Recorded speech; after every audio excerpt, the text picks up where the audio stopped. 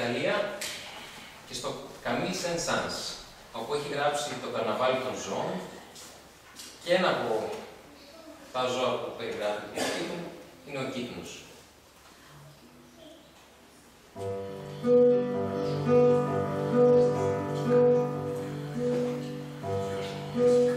Thank you.